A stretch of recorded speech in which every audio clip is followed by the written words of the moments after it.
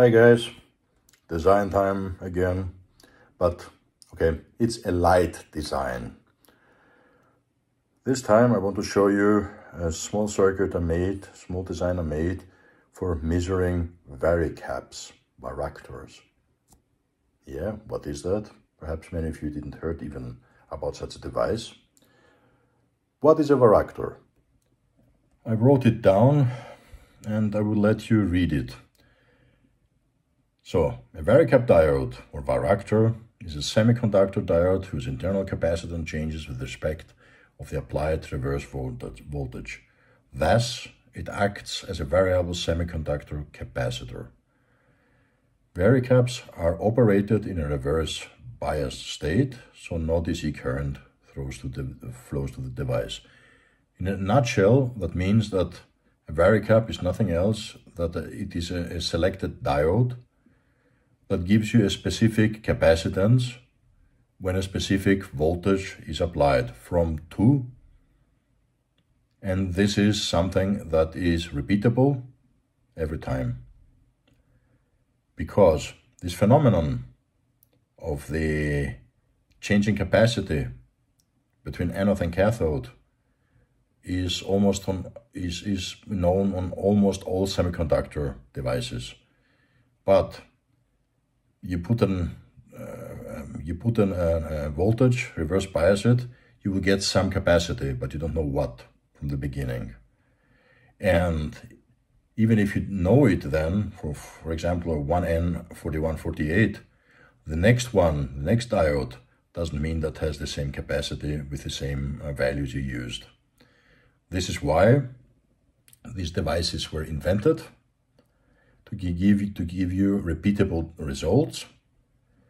These are used for tuning, RF tuning, uh, for voltage control oscillators, was used widely in FM and AM radios of the analog era. This thing got quite obsolete since SDR, software-defined radio, is used a couple of years now but not everywhere, and I will show you why. Uh, from what I read, the Varicap or Varactor was invented from Pacific Semiconductors Incorporated and was patented in 1961 as a voltage-sensitive semiconductor capacitor. Pacific Semiconductors was the predecessor of the late, the later named TRW. For me, TRW is venerable because I, when I was in Greece and building uh, pirate transmitters, FM transmitters, I had only tubes to do that.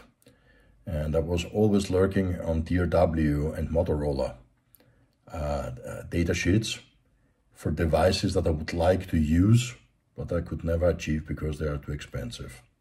So that's a little bit history. Uh, as I said, the video today has to do with uh, um, an appliance, a circuit that lets you that that make that lets you measure the capacity of a varicap and to characterize it. So, for example, here we have a data sheet of one of those varicaps, old ones, this one is called BB112. As I said, it's an old one. It was used for tuning in AM and amplitude modulation AM receivers. And it has a quite big capacitor range. Applying 1 to 8 volts, 1 volt will correspond maximum to 520 picofarads and 8 volt would uh, be down to 17.5 minimum. So you see it's a big range, capacity range. This is why it's used in, uh, in uh, AM, AM receivers. The uh, symbol of the varicap is this one that I drawed here. This is the one that I learned in the 70s and this is the one that I is for me a varicap. there are newer symbols that are just uh, a diode, and above the diode symbol is a capacitor. Honestly, I don't like it, and I'm not accepting it. This is the symbol I know, and this is for me the correct symbol. But the thing is, how do you test such a thing, such a such a device? We said that to change the capacity, you have to, to reverse bias it with uh, some kind of some some voltage. Here, for example, one to eight volt. Um, using an LCR meter like that will not do the job because it will not this this LCR meter will not uh, produce any any voltage, yeah? or at least not the voltage you need. So we have here the necessity of some kind of mini design. And ta-da! This is what I came up with. On the left side, you have the supply. You can supply this mini circuit either with a USB 5 volt or with a barrel connector between 5 and 12 volt. Behind of that, you have a boost converter that boosts up up to uh, 30 volts or more. A simple potentiometer, quite high value, because everything here is high impedance, because the varicap itself is draws only microamps. Yeah? This pot is the one that sets the reverse voltage on the cathode, the reverse bias volt on the cathode of the varicap there is quite a large resistor, 1 mega ohm. Again, we do not need any current here. And secondly, if we unintentionally polarize the varicap wrong, nothing will happen at, at, at all. Okay, now we have the reverse polarity. We have a high impedance meter that shows with the voltage that is applied at that time at the varicap.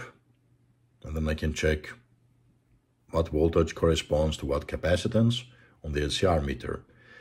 But we still have, we still cannot connect a and, and we, we still cannot connect an LCR meter here between these two these two points because we have a voltage here applied. So the whole idea is of the circuit is what I wrote here. The key is the isola isolation of the cathode with a large capacitor.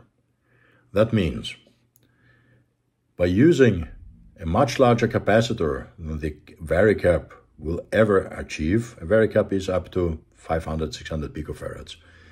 In series with a 100 nano or 100 microfarad capacitor, the capacitive error change that you have in series will be small enough so that you at least can use the circuit to see if you are in the correct ballpark. If you are inside the specifications or completely outside. This is not a precise instrument or circuit. This is just to show you the varicap you under test is complying with the specifications of the manufacturer, or it's outside, or it's completely grab. This is what it does, nothing else. So, this is this is what I came up with. Very easy construction on a breadboard. Such an easy circuit. I used only ready-made modules from eBay AliExpress. The barrel connector, if used, the USB connector but mostly I'm using with 5 volts, a DC-DC boost converter that can boost at 5 or 12 volts up to 35, 40 volts, depending. This you can set test with uh, this potentiometer of the boost converter and cheap three-digit LED meter that measures the applied reverse biasing voltage of the varactor or varicap.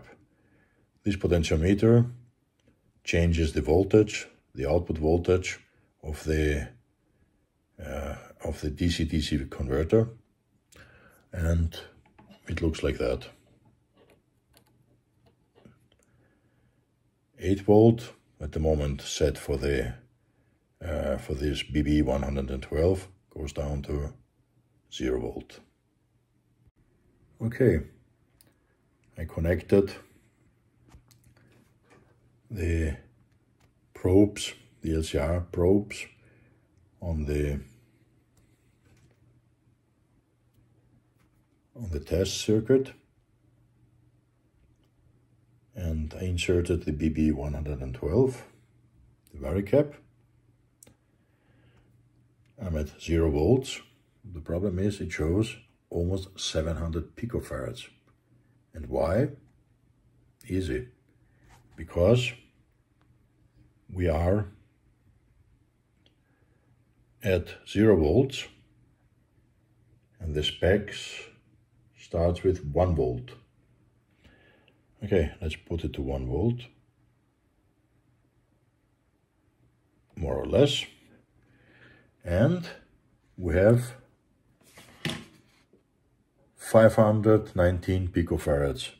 So we are well in the ballpark of 520 picofarads maximum. If we go back or raise up to 8 volts, the full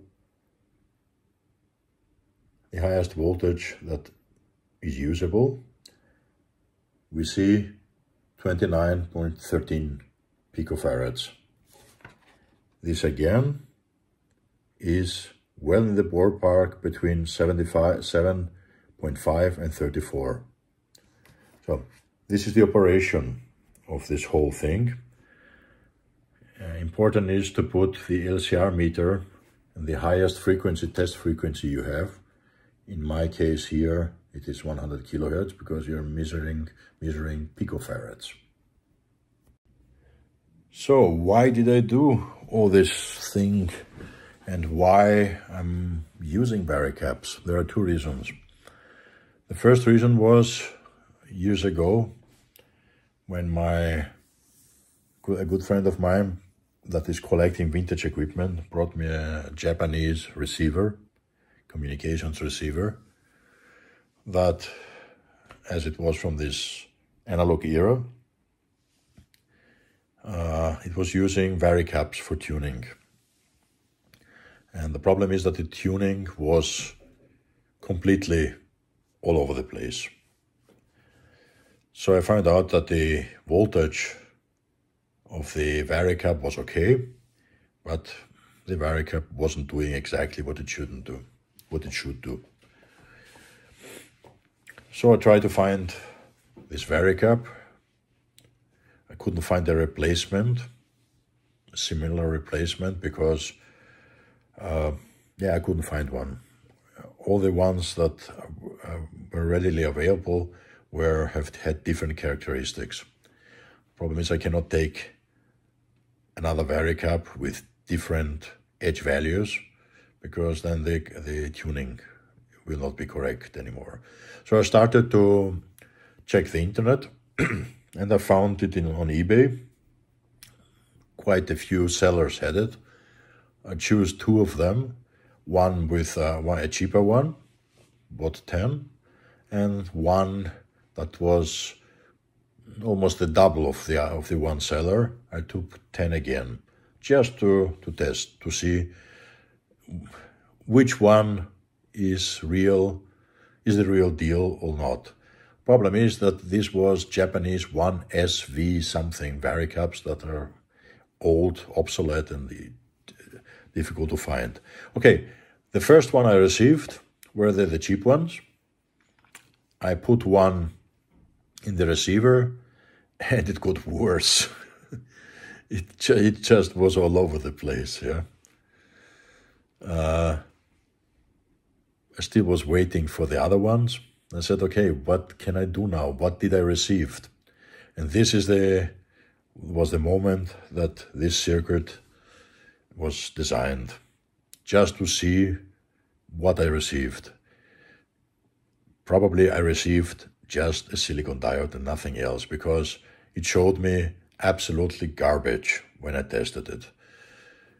Then the new one came, the other ones came, the, the, the more expensive ones. Then I had this circuit, I tested it, and they were absolutely in the specifications of the 1SV something of the manufacturer. I added it to the receiver, and the receiver worked great. The second reason why I'm using that is because I designed something like that in 2019. It is a completely digital dip meter, grid dip meter, that can measure the uh, the resonance frequency, the resonance frequency of a resonance circuit. That means here I have varicaps that I tune, that tune the VCO. This is a VCO The tune VCO using this uh, uh, this coil. Uh, I made quite a few of these uh, VCOs for different frequencies and uh, coils that match the VCOs. When you tune the VCO and you come near the frequency set to that, this second tuned circuit will draw energy from this tuned circuit and you will get a dip. The dip will be shown in the disp on the display as from the bar graph to go back. And on the other line of the, of the, of the display, I see the frequency. So this is a grid dip meter that I started quite some years ago, but I got bored and I stopped it. Anyway, uh, as you can see here, this is an absolute easy version, a very light version, but you need you need the LCR meter that is beeping me because it wants to be turned off. You need an external power supply, etc. Uh, please let me know in the comments if anybody is interested to make the more advanced, to make a more advanced circuit or more advanced appliance that incorporates both this circuit here and a digital picofarad capacitance meter in one.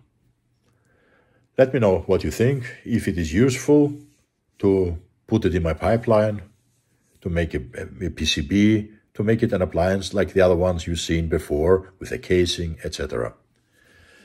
Anyway, this was it for today. I hope you liked this video. I don't know why it's getting yellow, but anyway. Uh, if you like my videos, please hit the like button and subscribe my channel. This will help me, not me in personal, this will help my channel to grow so I can show more of this stuff in future videos because I have really a lot of stuff to show from designs I made, many in RF, analog, power electronics. Thank you for watching. Please subscribe and cheers. Bye.